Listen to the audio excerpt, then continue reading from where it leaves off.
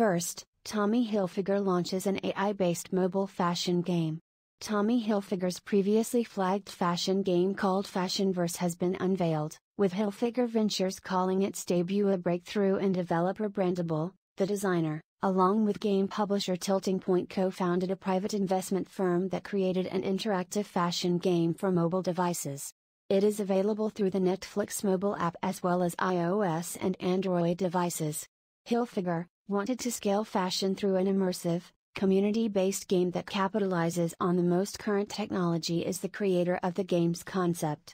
It creates photorealistic avatars, settings, and props, to provide a stunning virtual experience where everyone is a creator, according to Brandible's unique AI model.